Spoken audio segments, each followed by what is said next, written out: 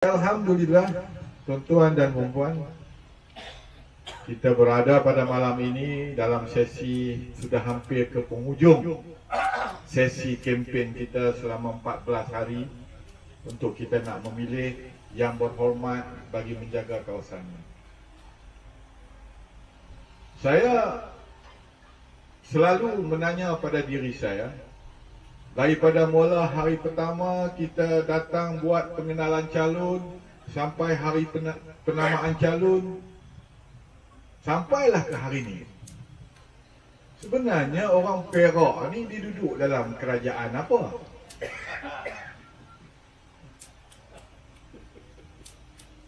Ini bila sebut saja mantan ahli majlis kita dah tahu dah pasal apa. Sebab kita diberi mandat lima tahun.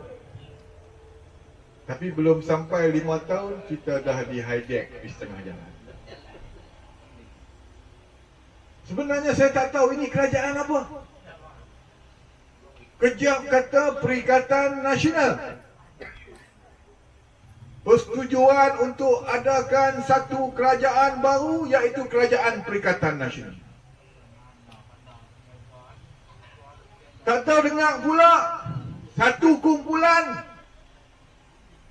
kami tidak akan sama sekali untuk berada di dalam Perikatan Nasional. AMNO buat keputusan. Keputusan ini bukannya keputusan individu. Tetapi keputusan majlis tertinggi AMNO. Untuk tidak berada dalam kolusi menubuhkan kerajaan perikatan nasional. Tetapi kami hanya akan meminjamkan ahli parlimen kami kepada Perdana Menteri yang ada sekarang untuk dia menjalankan tugas-tugas sebagai Perdana Menteri.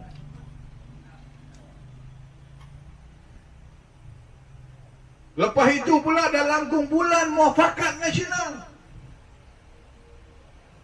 yang telah ditubuhkan ataupun boleh dikatakan diadakan piagam bersama iaitu di antara UMNO dan PAS yang ingin membentuk sebuah gagasan ataupun perpaduan ummah atas dasar Melayu Islam. Tiba-tiba PAS pula kata saya nak duduk dengan Perikatan Nasional. Lepas itu kata bersatu pula nak pohon masuk memuafakat nasional. Dalam duk sibuk nak pohon masuk muafakat nasional, tiba-tiba Presiden bersatu mengeluarkan kenyataan.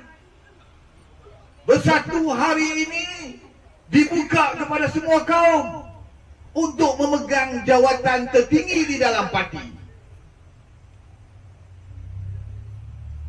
Bersatu yang dulu ditubuhkan atas asas pribumi iaitu sebuah parti yang berlatar belakangkan perkauman iaitu di mana kita meletakkan orang Melayu sebagai asas perjuangan kita. Kenapa bersatu ditubuhkan sebagai backbone kepada orang Melayu? Untuk kita menggantikan UMNO yang telah rosak. Tiba-tiba hari ini asas penubuhannya telah dirompak kerana untuk menerima masuk timbalan Presiden Parti Keadilan Rakyat. Yang juga berstongkol sebagai pengkhianat mengkhianati semua kami dan juga mengkhianati mandat rakyat. Jadi bagaimana pula bersatu yang telah membuka kepada semua kaum tiba-tiba nak masuk dalam muafakat nasional yang mereka katakan ini adalah piagam Melayu Islam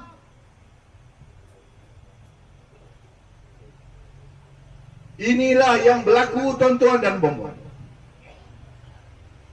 Apa yang berlaku hari ini kerajaan yang ada bukan untuk memikirkan masalah rakyat. Untuk mereka menentukan Collusion mereka sendiri pun mereka dalam keadaan yang tidak yang tidak keharuan.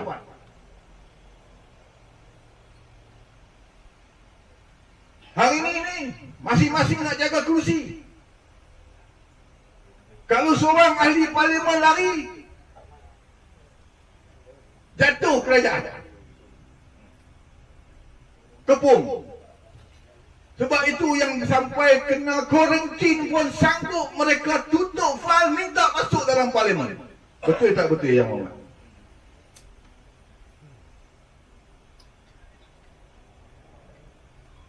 Mereka tentang soal rakyat. Dan hari ini tuan-tuan, walaupun kami yang sudah tidak bersama-sama dalam Pakatan Harapan. Namun atas persahabatan, atas dasar setia dalam perjuangan, hari ini kita sama-sama berada di pentas ini untuk menyatakan hasrat dan pendirian kita di dalam memperjuangkan nasib bangsa, agama dan negara.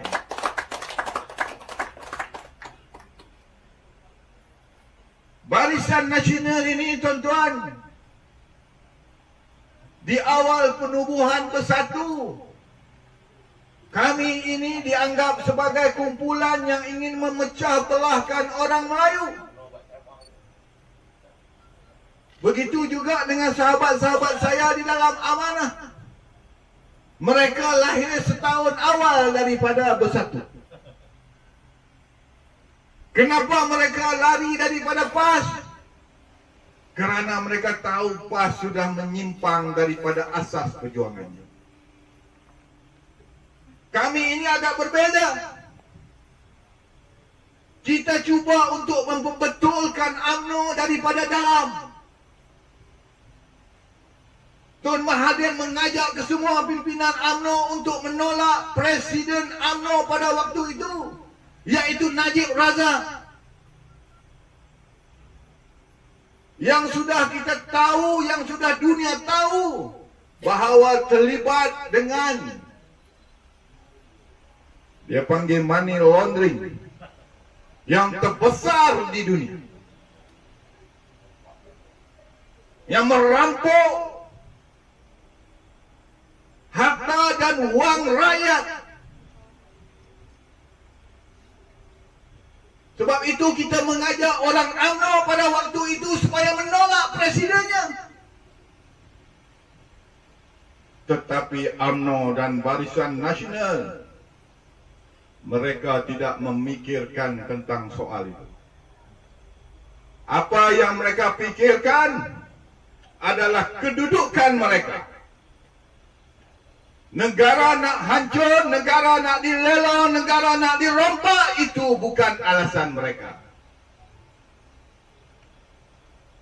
Maka kami yang menyuarakan kebenaran diambil tindakan.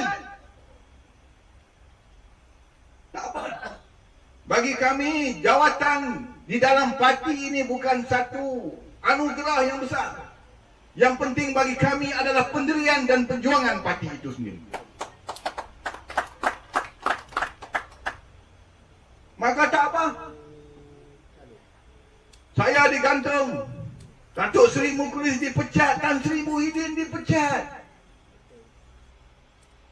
Terkonteng-konteng ke hulu ke hilir. Tidak ada seorang pun yang berada di sampingnya pada waktu itu yang berani untuk berdepan dengan dia. Kerana apa? Kerana mereka takut kalau bersama dengan Tan Sri Muhyiddin Yassin bersama Datuk Seri Muklis bersama kumpulan kami mereka akan diambil tindakan lari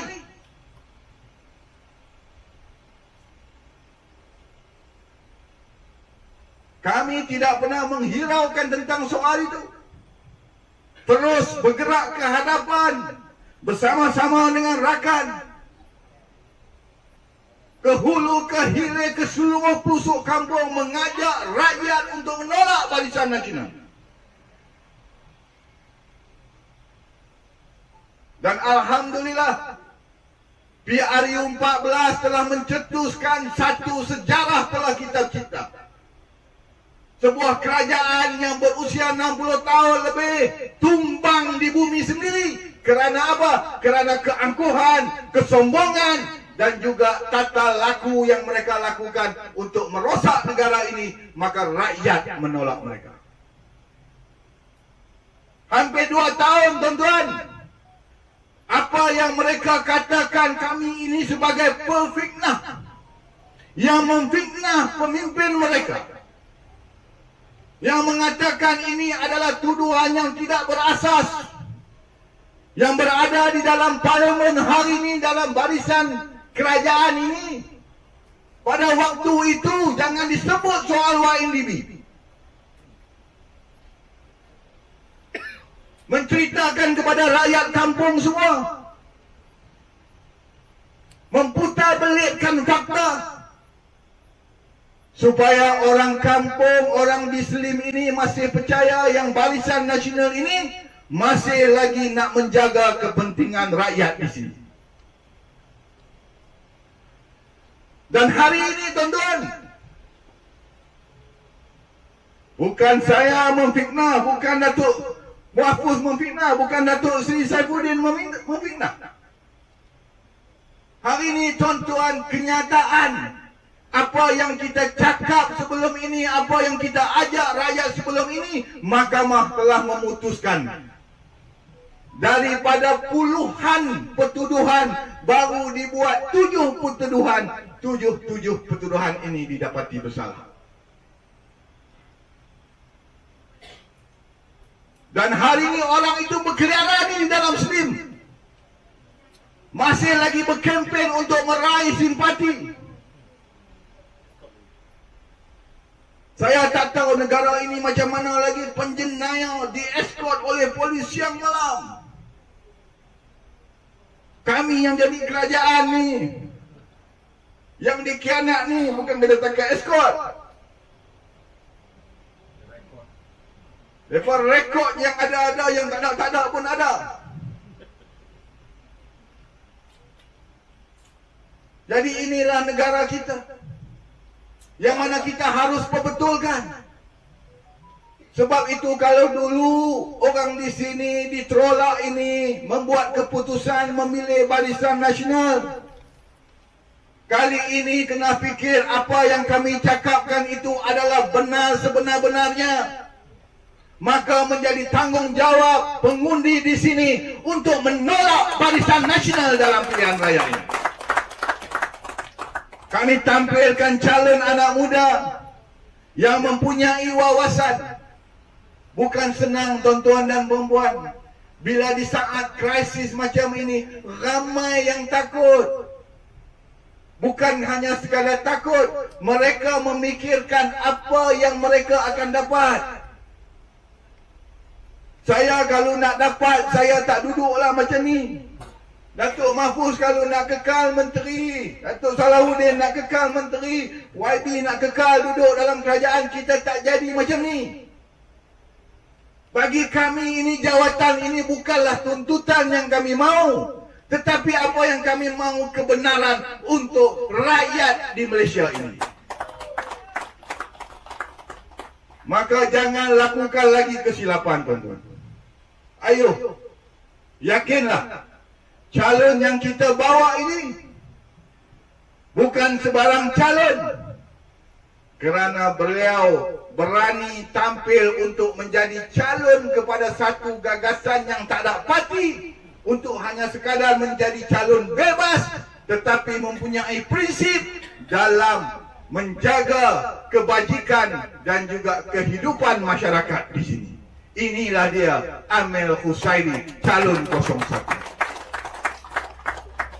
Kalau dia buat tak betul, lapor kepada kami. Saya, Datuk Mahfuz, Datuk Salahuddin, jentik dia seorang sikit. Jadi tuan-tuan dan perempuan, Masa pun dah agak panjang. Kalau nak bercakap lagi tu boleh pergi lagi tetapi sebab kita ada sesi soal jawab dan besok mungkin rakan-rakan abang-abang kita juga ada tugas uh, yang perlu dilakukan. Jadi sekali lagi saya merayu kepada semua pengundi di sini uh, keluarlah mengundi pada hari Sabtu ini dan undilah lambang pokok calon 01 Amel Husain. Sekian wabillahi taufik wassalamualaikum warahmatullahi wabarakatuh.